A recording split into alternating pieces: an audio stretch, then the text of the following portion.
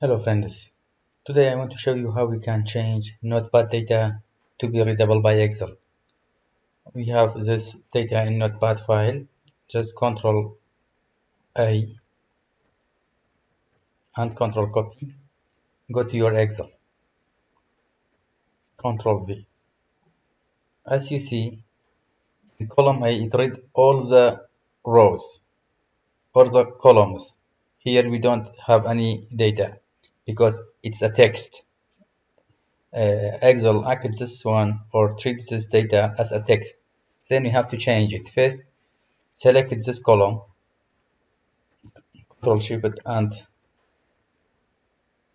the downward row.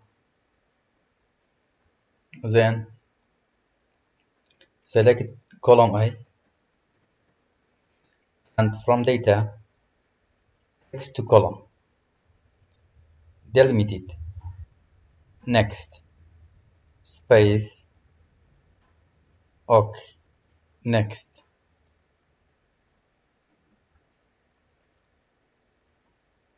Finish. You can delete this column. Okay you see now in every cell we have it is data. That's all. I hope it can be helpful. Have a nice time